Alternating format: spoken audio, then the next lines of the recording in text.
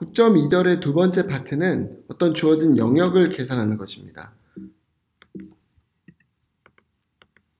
음, 그럼 우리가 영역을 계산했던 어, 더 기본적인 것부터 다시 복습을 해보겠습니다. 고등학교 때라든지 미적분학 원에서 다뤘던 내용인데요. 어떤 함수가 y는 fx라는 함수로 주어졌다고 하겠습니다. 그리고 어, x는 a부터 b까지 있고 특히 fx가 0보다 커나 같다라고 하겠습니다. 그랬을 때 그 커브와 x축에 의해서 막혀진 그 에어리어의 크기는 다음과 같이 결정이 됩니다. 그 이유를 한번 살펴보죠.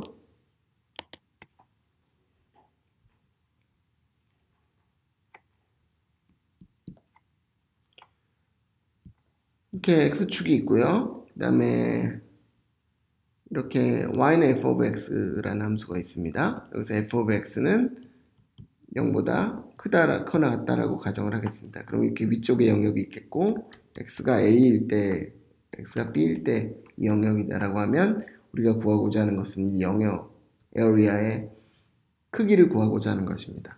그럼 이걸 구하는 방법은 뭐냐면 이 영역을 잘게 아주 가느다란 막대들로 쪼개는 것이죠. 그러면은 쪼개면 이런 식의 막대들을 우리가 얻게 됩니다. 그리고 이런 식의 막대를 A부터 B까지 쭉 드래그, 뭐 마우스 드래그 하듯이 쭉 드래그 하면 이 영역의 넓이를 얻어낼 수 있겠죠. 그럼 이 막대를 먼저 생각을 해보면 막대의 크기는 뭐가 되죠? 가로와 세로로 계산하면 될 것인데 세로는 뭐가 될까요? 세로의 크기는 y가 되겠고요. 가로, 가로의 크기는 x축에서의 짧은 거리 이것을 dx라고 씁니다.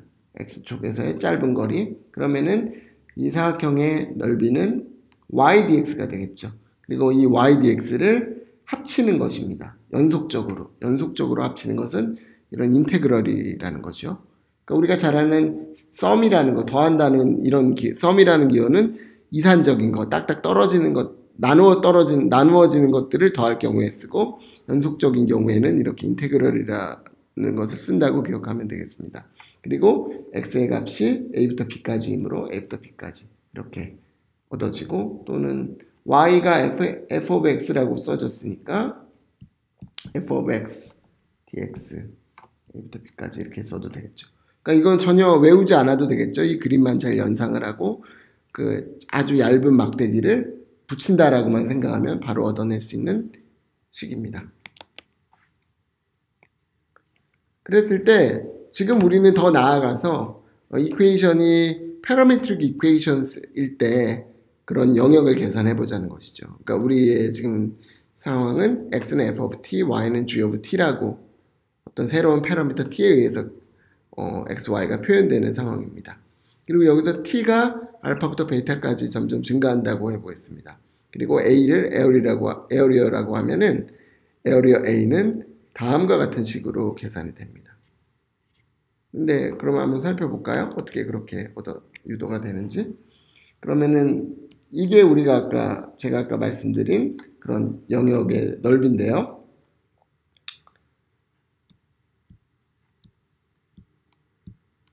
Y 값은 아까 뭐가 된다 그랬죠? y는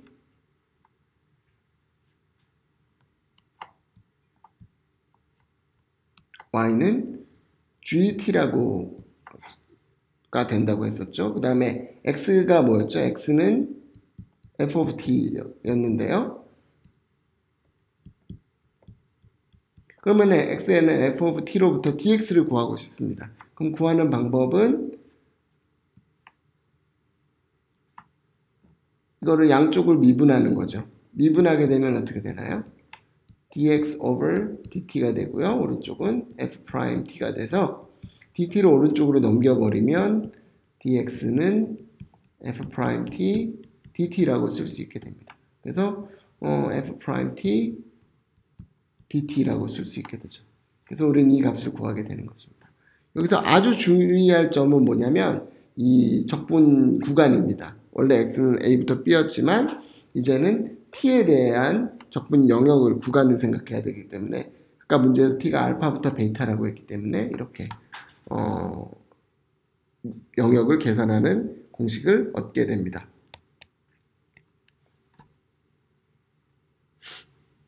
그럼 이제 이 공식을 외우지 않고 어, 기억할 수 있겠죠?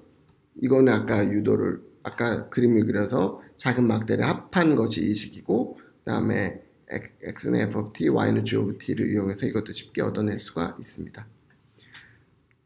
그러면 예를 한번 들어보죠. 사이클로이드고요. 사이클로이드에서 이 영역의 넓이를 구하고 싶은 것입니다. 그러면 어떻게 계산을 하면 될까요? 이 영역은 세이타가 0부터 2파이까지 일 때고요. 그래서 세이타는 0부터 2파이이고요.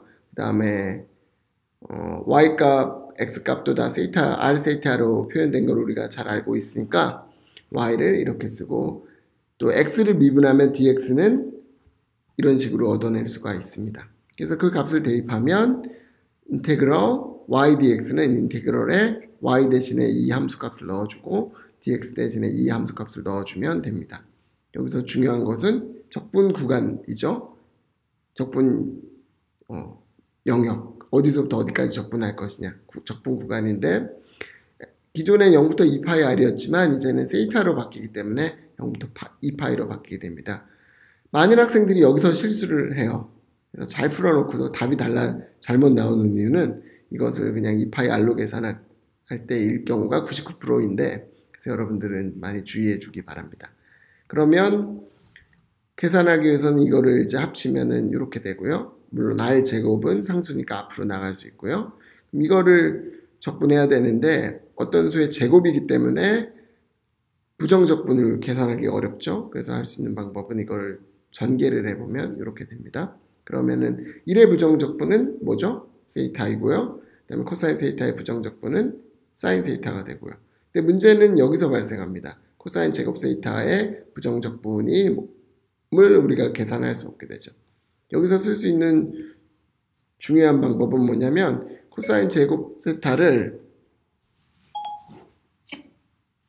코사인 제곱 세이타를 2분의 1 플러스 코사인 2 세이타로 바꿀 수 있습니다. 그럼 이 부분에 대해서 잠시 설명을 드리면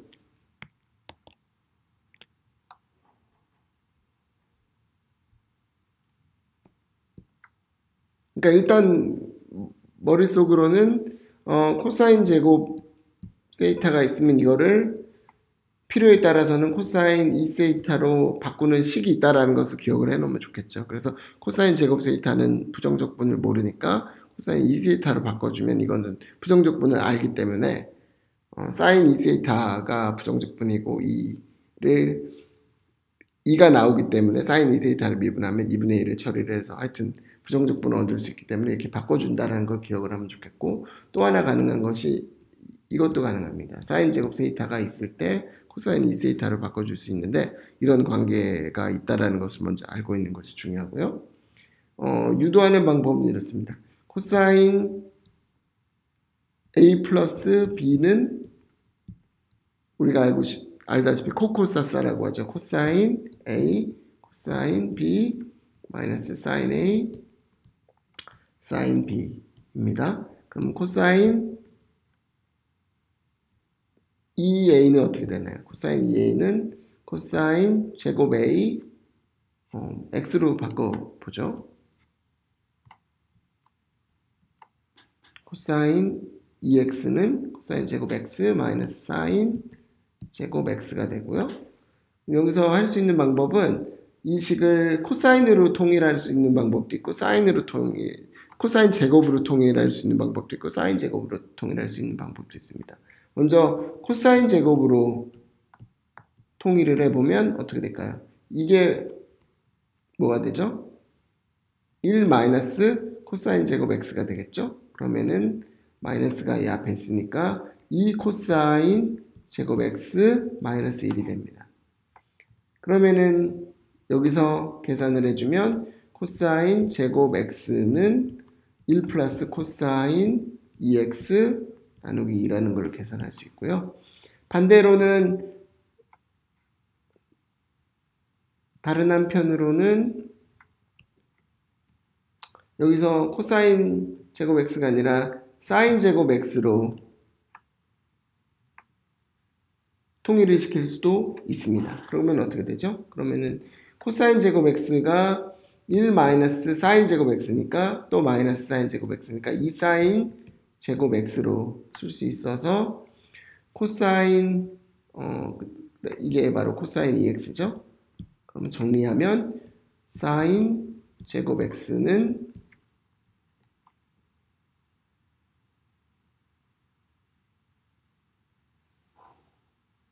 2분의 1 마이너스 코사인 2x로 정리가 됩니다.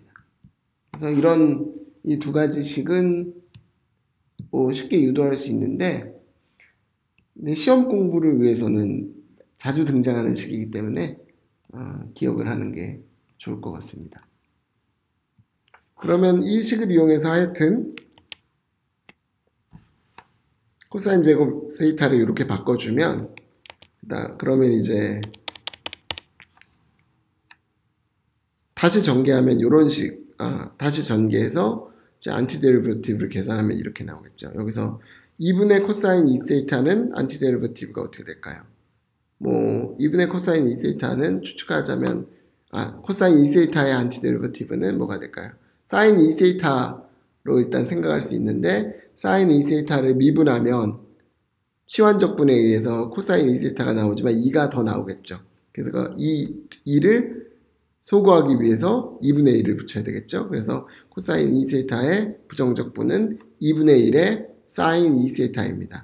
그래서 이렇게 앞에 2분의 1과 더해져서 4분의 1의 코사인 2세타가 얻어지고요. 여기다 2파이하고 0을 대입해주면 값은 계산이 돼서 3파이 아래 제곱이 얻어집니다.